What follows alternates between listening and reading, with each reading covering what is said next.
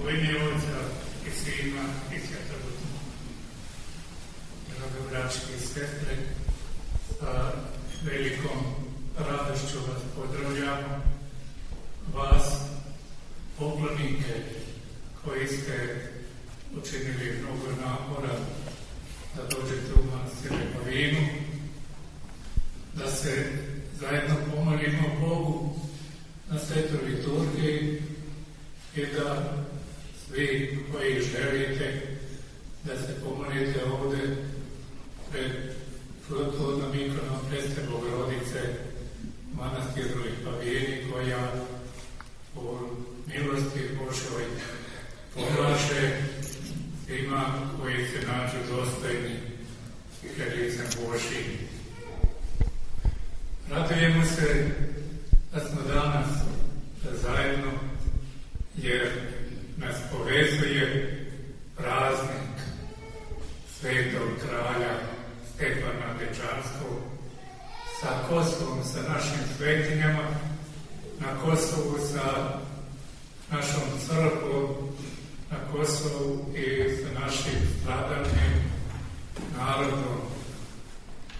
Sveti Stefan Dečanski je jedna velika, divna svetinja u našoj crkvi. Ne samo kod pravoslavnih Srba, nego i inoverni dolaze da se poklone u manastiru Dečanima, njegovim svetim moštima, da se mole svetom kralju Stefanu Dečanskom da njegove molitve budu snažne moćni molitveni naš pred prestolom Božjim.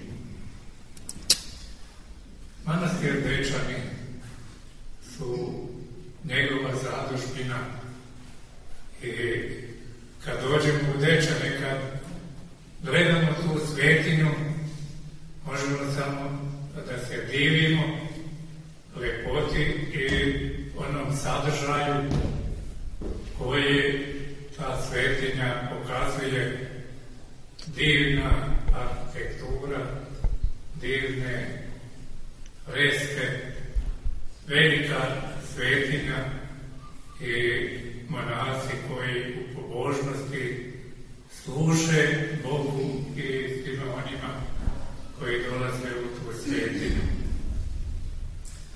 Kad čitamo žitija srpski vladara i arhijepiskopa, kaže se da je sveti kralj pre nego što je ulazio u svoju zadužbinu, da je izgled manastira išao u jednu malu crpicu Svetog Nikole, gdje su bili smešteni bolesnici.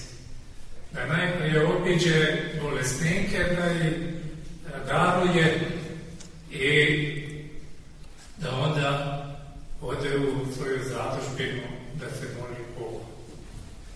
Imao je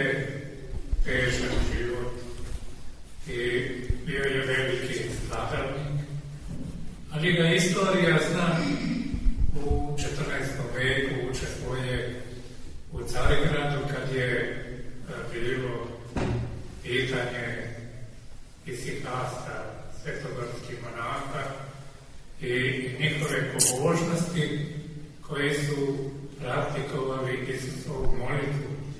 Gospodi se Hriste, Sine Božje, pomiluj me i u tim molitvama oni koji su bili dostojni doživljavali su onu blagodatnu silu koju su sveti apostoli osjetili na gori Tavonu prilikom preobraženja gospodnje.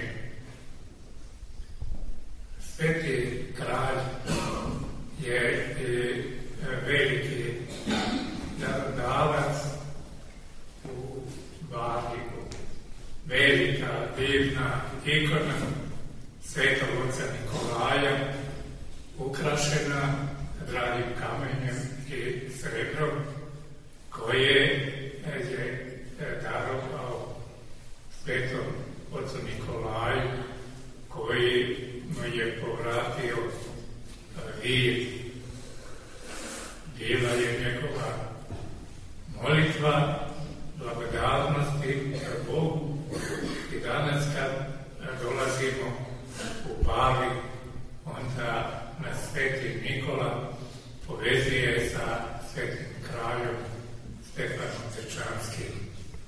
Eto, to je danas naša velika radost kad e, se pripremamo i za početak Božićnog posta. Kad početkom idućeg mjeseca za praznik Pavedenja, Peste Bogorodice, veliki broj naših vernika dolazi da se ispovedi ili da se pričesti. Vreme kad se pripremamo za veliki praznik roždestva Hristovog, molitvom, postom, ispovešću i svetim pričešćem. U današnjem svetom evanđelju govori se o onoj priči Pastiljevoj o e, pravednom Lazaru i onom bogatašu. Pravedni Lazar koji je kroz život teško prolazio, našao se posle smrti u naručju Avramovu, a bogataš koji je rastošno živio i našao se na mjestu mučenja. Ova spastirjeva priča hoće tako jasno da nam kaže o zagrobnom životu, o životu posle ovog zimanskog života.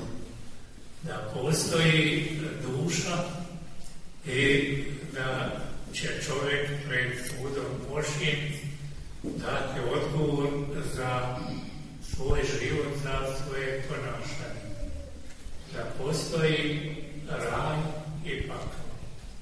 Da raj je mjesto koje je Bog odredio za one koji izvršavaju volju Božiju i pakao mjesto mučenja koji se protive volji Božjoj.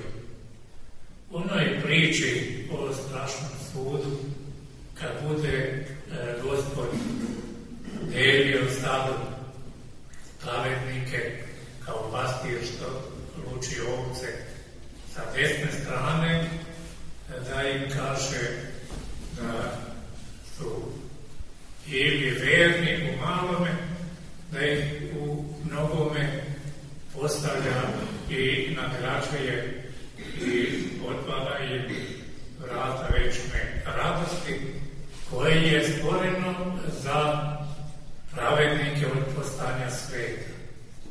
A oni koji su se protivili volji Božjoj, bit će udaljeni od lica Božje, bit će na mjestu mučenja. Ta spastirjeva priča nas tako jasno uverava i govori nam o našim hrišćanskim dužnostima, o načinu našeg hrišćanskog života.